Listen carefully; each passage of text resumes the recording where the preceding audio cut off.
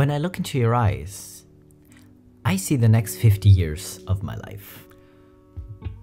Okay, I started out with this one because it's wholesome.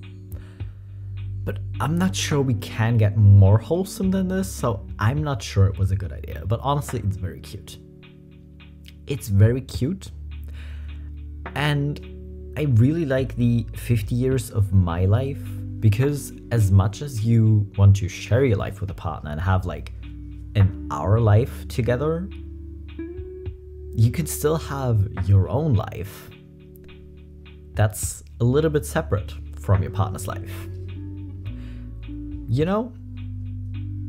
And honestly, I, I do think it's beautiful because a lot of, well, actually, a lot of people in general team, tend to be a bit possessive of their partner, and that's weird to me, but this is just cute. Hello, baby queers, and welcome back to my channel. After the last video, we we maybe need to remember that not all cisheads are as wildly weird or stupid as the ones in in that video because are the straight okay or are the cis okay is peak peak frustration really. But there are wholesome straights as well. So today we're doing the subreddit of straights being okay to to feel better about straight people again i guess but either way you know the deal before we get started y'all need to get hydrated so grab some water or some tea, or whatever else you like to drink, and then we'll check out some more memes. Are you hydrated? Good, let's go. My wife's so cute because we both love animals so much, but her way is very pure and genuine, whereas my family is me holding up my cat. Stinky! Wife, no, don't be mean. Me swinging back and forth in the air. Stinky bastard, man. Wife, no! My mother, not looking up from chopping veggies. Naughty boy, brat cat. Wife, distraught. No! There's there's two types of people loving animals. And you manage to marry the complete opposite. You both love animals. But she's very Oh, who's a cute little boy? Aren't you the prettiest little baby? And you're very, you're such a brat, I love you so much. And then there's me, who somehow manages to do both. Because I have uh, two bunnies at the moment, and they're rascals, especially one of them. But I'm very, you're so stupid, I love you. Because they're not the smartest rabbits out there. Yeah. But you somehow managed to marry the complete opposite of you, and it's honestly kind of funny to me. I found me a good one. I just had to post this somewhere. I'm so happy and crying. It's a good crying. I just got together with someone and while on a walk I twisted my ankle bad. He rushed me to the hospital and stayed by my side the full 5 hours just to make sure I got my splint, and then bought me a cane so I don't hurt myself trying to get around the house before grabbing the ice cream. I don't think I can be any more in love with anyone else ever. He really cares about me and it's a feeling you can't describe. I think I want to marry him.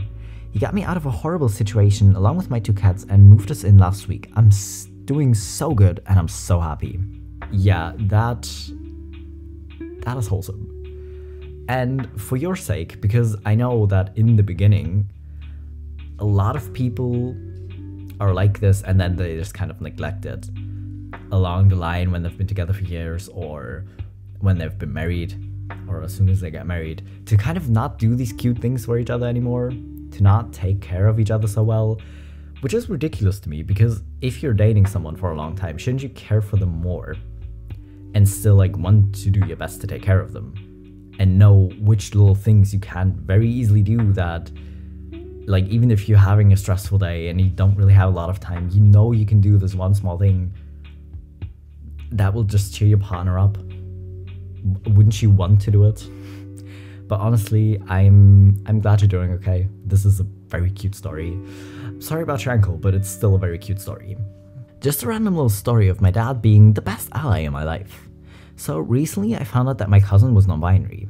This was a shock to me at first since they're the only other LGBTQ plus family member on, well, both sides of the family other than me, and it was a nice breath of fresh air being able to be myself around someone other than my dad especially at family gatherings on his side since they're all very anti-LGBTQ+. Well, recently my cousin came up in a conversation. By the way, they're out and were wearing a pin that had their pronouns on it, so I wasn't outing them to my dad. When I brought up them being non binary, he had nothing but supportive things to say about them. It really just makes me happy hearing how supportive he is overall. He's always been so supportive to me since I came out, and hearing he's so supportive of my cousin as well in such a strictly religious family just warms my heart. By the way, the reason I keep referring to my cousin as my cousin and not by a familial term my dad would call them by, because I'm not sure what the right term for a non binary niece or nephew is, since I didn't really give it much thought until my cousin came out.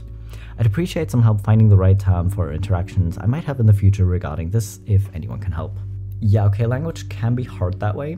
Maybe ask your cousin what they would prefer to be called by your father, because, yeah, to you, they're just a cousin. In German, there is actually a very distinctive, uh, distinctive male and female cousin. Like, you have separate words for that, which kind of sucks. I hate German that's just one of the reasons why because at least in english you have a few terms that might be more gender neutral to begin with without having to make up new new language or finding new terms which isn't a bad thing but i do think it's more complicated because people are dickheads anyways but honestly this is just cute and i just love this so much because a lot of people just don't question how they were raised. Like if their parents were very no, but being queer is wrong, they'll just like go along with that because that's what they've had all their life from their parents. You know, just like little shady remarks to people on the street, like, look at that F word over there, and stuff like that. You know, and a lot of people don't question it and just like go with it. I'm glad your father's better than that, really, and was like, hey, wait, maybe, maybe we shouldn't hate on other people like that. You know, yeah yeah, go hug your dad from me, I guess. My mom bought my brother, who's a father to be, Legos to not get bored while his pregnant wife is waiting in the hospital. this is so funny, and he's making her laugh in a time that's supposed to be stressful and nerve wracking. this is wholesome. This is so cute. I mean, Legos in general are awesome. So, getting your son Lego in general is a pretty cool idea, but listen, he's keeping busy. And you know that as soon as this child is old enough to play with these Legos, he's gonna be playing with that child. Because he's excited about toys, and the child is gonna be excited about toys. And honestly, it's just adorable. And honestly, if it cheers her up as well, because if this this pregnant woman, if she was like super against it and would just be annoyed by it then it wouldn't be cool because honestly she's having a hard enough time as it is. I mean she's about to give birth. But since she's just so entertained by it, it's just so cute. Calling me cis is a grand insult and will earn you a punch in the gizzard if you say it to my face. So you're trans then? Don't be obtuse. You're cis or trans, they're the only options. Cis literally just means you're not trans. I don't know, I personally feel like we didn't really need a term for cis. Technically, the definition is accurate, but I still don't like to be called cis. I don't mind people who like to be referred to with different pronouns, etc., but just don't drag me into it. I'm male, just male. I don't feel the need to add the fact that I would be cis, and I don't really understand how and why all of this started. Again, I don't have any trouble with people who do feel more comfortable with it. Don't hate anyone for a reason like that, but I just don't want to be a part of it and should not be dragged into the entire system of all these genders and everything that comes with it. Just wanted to clarify that I don't hate it or anything, but I don't relate to it. I don't feel better with it, and I don't feel the need to be part of it all. Okay, the only reason it exists is to differentiate between cis males and trans males, or cis females and trans females. You could say male, but that also includes trans males, so cis just means that you aren't trans. Hmm. That's actually a good point. Now that I think about it, it makes a lot more sense. Thanks for the explanation. No problem. Generally, people are just assumed to be cis, so you wouldn't go around telling everyone that you're cis. It only really comes up when you're on LGBT boards and things where you got a lot of trans people. I don't get why people get so worked up about it when odds are they probably never going to be called cis anyways. Yeah, exactly. It's the same with people not wanting to be called a birthing person because they're a mother. Listen, if you're a woman and you identify with the term mother, because you gave birth to your children or you adopted your children. Cool. But that doesn't mean that applies to everyone. You know, and that's just kind of where the term cis might come in as well, because it's like, it's just an adjective that you use to describe someone when it's necessary. Usually, it's not going to be necessary. You know? So I really don't get what the big deal is. It's literally just an adjective. It's it's just a word. You know? what is the most a dollar has ever gotten you? Too long to read. A wife, three beautiful children, and frankly, my life as I know it. Story time. Back in junior high, I liked a girl and flirted with her quite a bit. One time during a band trip, we stopped at a gas station and she bought me a pack of gum. I tried to pay her back $1, but she refused. So, I slipped the $1 into her pocket. She then slipped the dollar in my backpack, and so began the back and forth of the $1 bill. We found silly ways to give it back and forth. I mailed it to her house. She stuffed it in a gum wrapper and offered me a piece. I then decided that I would ask her out on this $1. I wrote, Will you go out with me? and put it in a note and gave it to her. She said yes. Of course, it would be a terrible story otherwise, I suppose. About four years later, I still have the same dollar kept away. On our anniversary, I wrote, Will you marry me? on the bottom of the dollar. We've been married for 15 years and have three awesome kids. We still have that dollar stored away. And for for reference, this is the dollar. And also update of from 2020. I logged back in today um, to find this has gone a little bit viral a year later. Thank you for all your kind words. A few days after the original post, we both decided to frame the $1. Here's the picture of it. This is... See, this is just cute. We don't like the straight people pulling misogynistic shit of, haha, my wife is so annoying, like, why do I have to put up with her? This is the opposite. It's just a cute listen. It started out so funny we just passed this dollar back and forth because she bought me a pack of gum. Listen, of course, like having a cool origin story like that isn't actually necessary to have a good relationship, but it's still so cute when it happens. To my wife, I wish I could turn back the clock and find you sooner and love you longer. I may not be your first date, your first kiss, or your first love, but I just want to be your last everything. I love you forever and always. Again, we've seen too many ugly straight mugs. And like, haha, my wife is crazy mugs. You know, this is just cute. This is cute because as much as I come for people being like overly possessive or jealous, knowing you're monogamous and wanting to spend the rest of your life with this one person isn't something I'm gonna come for. And if you want to buy a person a cute mug like this, to be like, listen, I love you. I don't know how I lived my life before you because it doesn't really make sense to me now because I, I, I want you in my life. I can't ever picture my life without you again. Honestly, that's cute. I'm a proud wife of a freaking awesome husband, and uh, yes, he bought me this shirt. this is adorable. I love when funny heterosexual themed clothes don't make misogyny the punchline. Yeah, that's what I mean. Because this is this is just the funny of I I love my wife. I want to get her a funny shirt.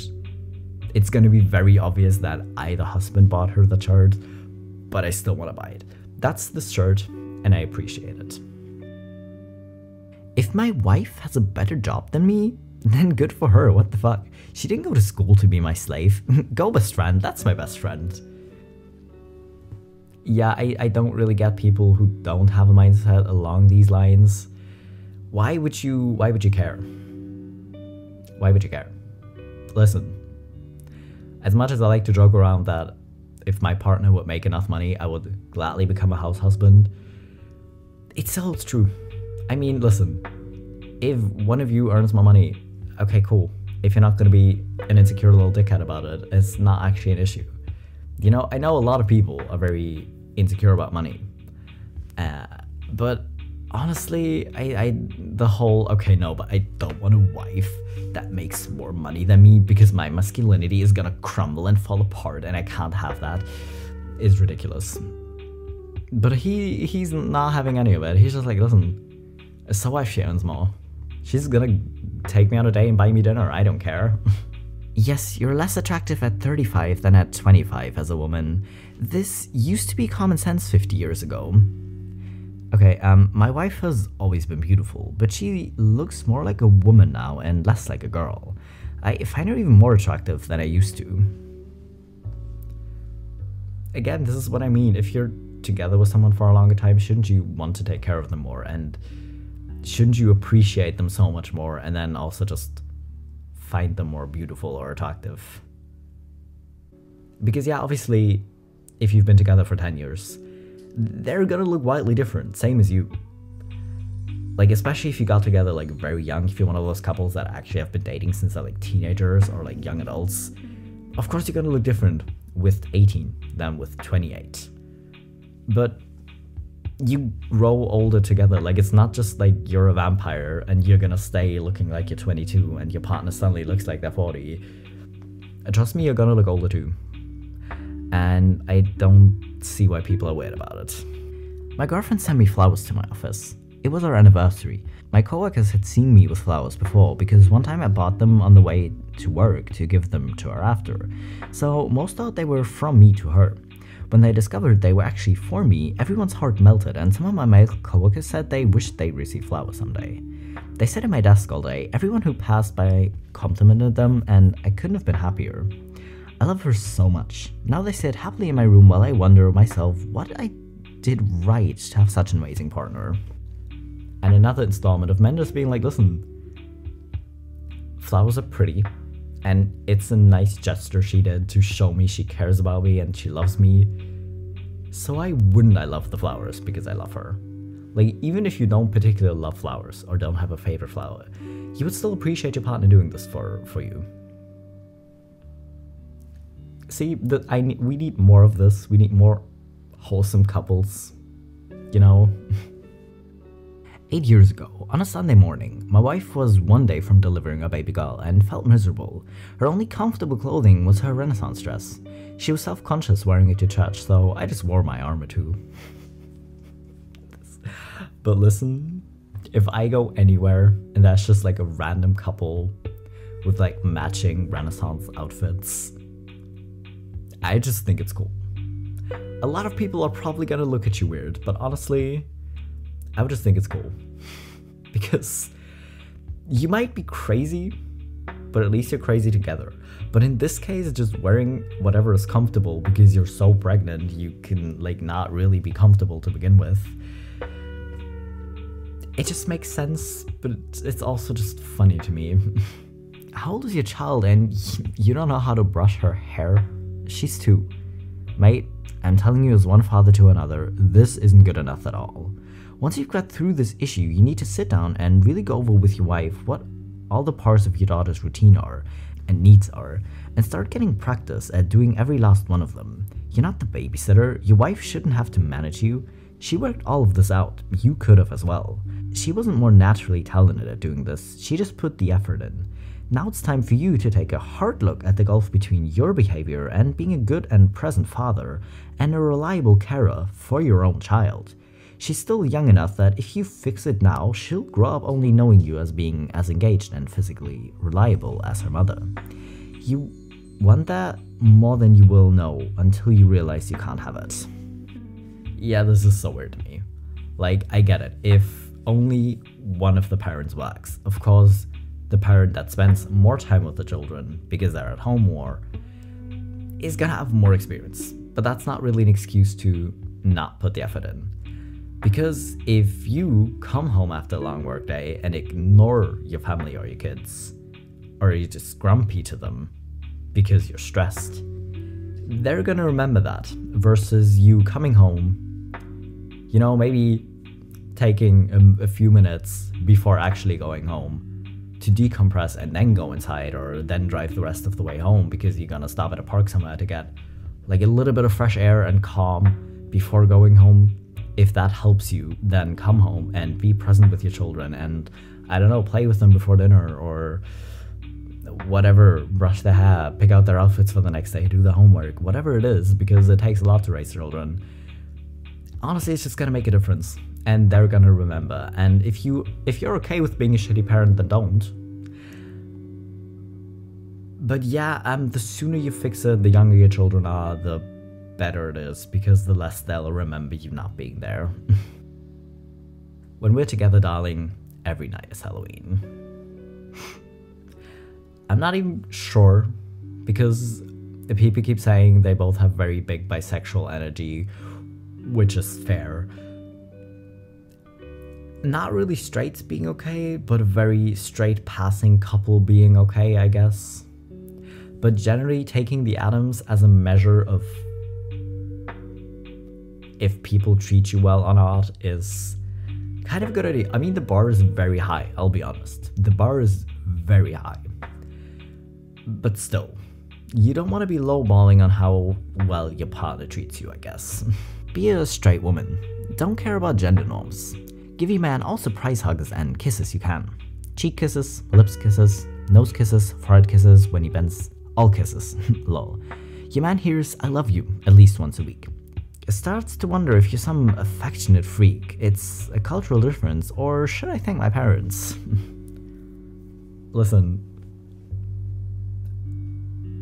maybe it's a queer thing, but once a week, like telling your partner you tell you love them once a week, seems very little.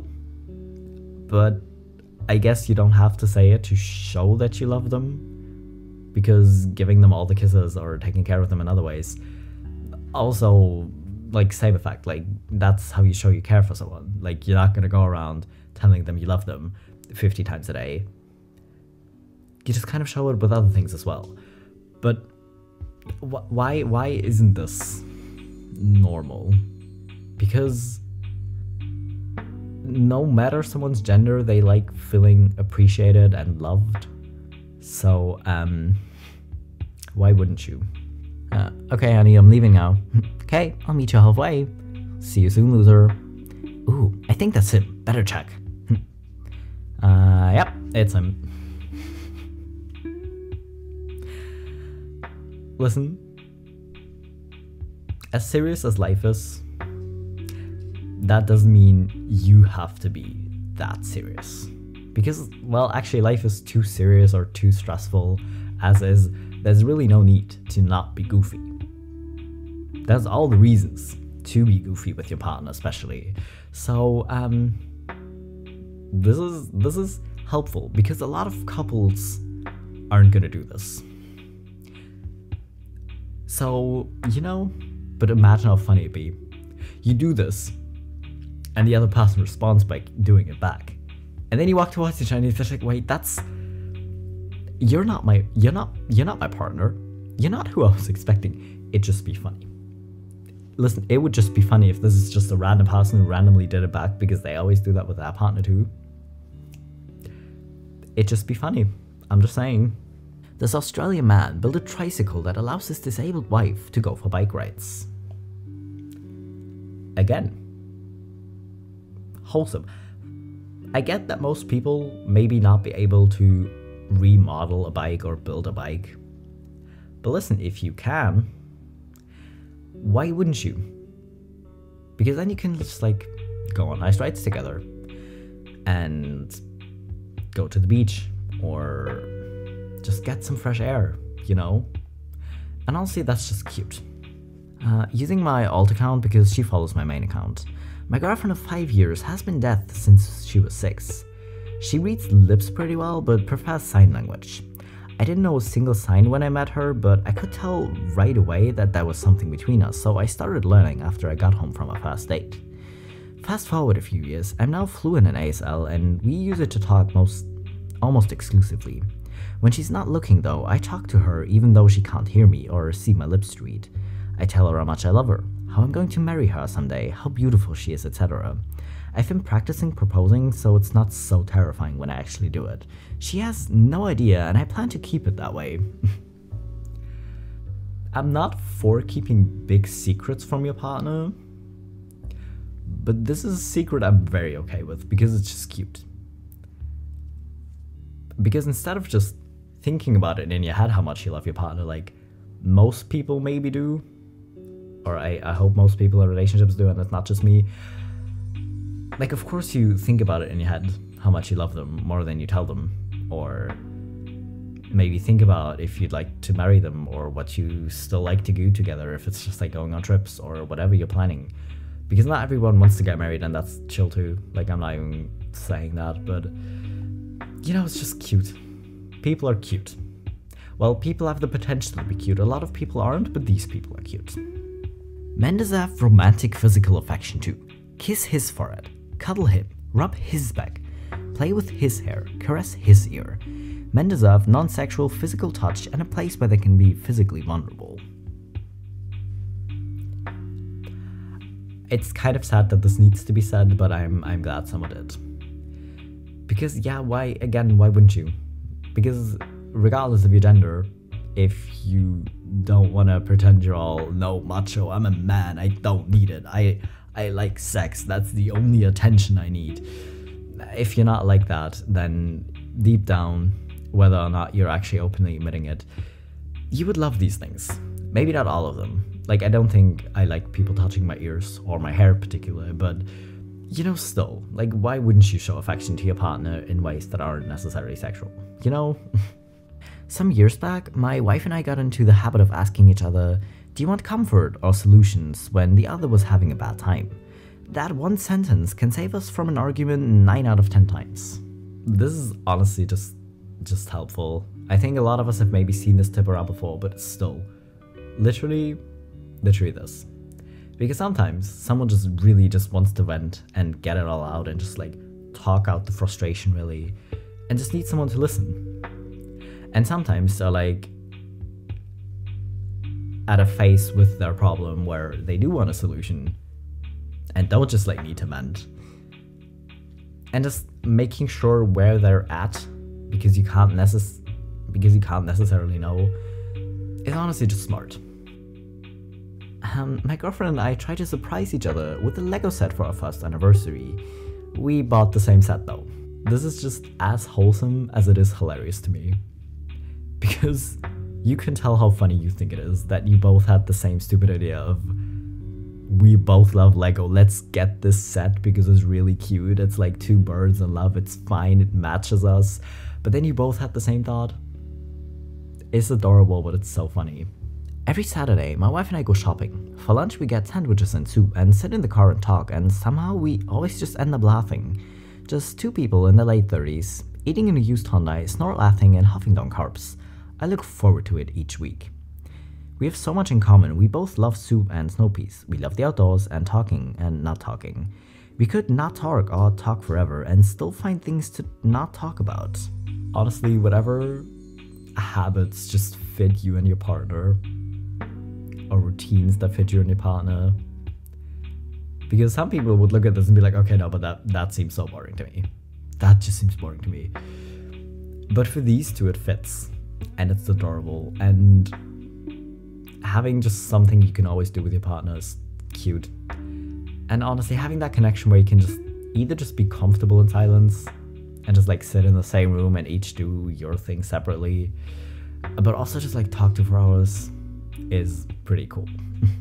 the first time I cried in front of a girl was the first year of university. I was in the library working late at night, feeling sad and missing my family, which is weird for me, lol. I was in a single person study room. My new girlfriend just happened to call and could tell I was crying. I couldn't get any words up, so I hung out embarrassed. She texted for my location and I texted back. She literally sprinted from her home to me, probably a 5 minute sprint to make that distance, and she was with me. She hugged me and asked me to get some tea with her so we could talk about it. That's when I knew I was onto a winner. Coming up on 10 years together now, I've cried a handful of times, but now I know when I need to, I won't be judged. Again, why isn't everyone like this? Listen, some people cry more than others. Some people don't really cry, but that doesn't mean that it's not okay to cry. Like I'm not saying you should cry often because I I never cry, really. But I know that my girlfriend wouldn't judge me. She would just be chill with it. Like she would try her best to cheer me up and she would probably be very confused because she's never seen me cry before. She would be like, wait, wait, what? Why are you actually crying? The only time I cry is because of onions, because yeah. But I know that if I actually would cry, she would never judge me for it. And she would just like be there for me and try to cheer me up or find out what's wrong. You know, and honestly, just being there for someone regardless of the gender, because again, like, what does it matter? What does it matter if you're a guy or if you're a girl or whatever your gender is? Listen, if you're crying, you maybe just want someone there for you, you know? Local museum posts image of a 1965 school desk inscribed with Benny and Linda. Benny responds in the comments. yes, I carved that sitting in the auditorium of Central High School my freshman year before leaving for LaSalle. Linda and I are still together after having three wonderful girls and 50 years of marriage. Told my friends in 4th grade I was going to marry Linda, and here we are, heading for 51 years together on August 1st. Smartest thing I ever did in my life was marry this kind and pretty lady. Thank you for sharing this. Well, thank you, Benny, for commenting on it, because seeing little notes of, oh, this person plus this person isn't really that cute. Because a lot of people having crushes in like fourth grade or something doesn't really mean too much, you know, because usually what happens if kids move on after two weeks. But just seeing how maybe just a few of these childhood crushes actually just turned into functional, long lasting relationships is very cute to see. So, thank you, Benny. I don't know about you, but I feel better about straight people again. Maybe not a lot, because then as soon as you're gonna walk out the door or go online, you're gonna see some weird things again. But then again, a lot of people have potential to be really weird in relationships. So, yeah. It's just good to know that some people are actually capable of having good relationships and being nice to their partner, you know? but either way, um, yeah, I hope you enjoyed these wholesome stories and pictures. And I hope you're hydrated. If not, maybe consider drinking something now. But either way, I hope you enjoyed it, and I'll be back in a few days with my next video.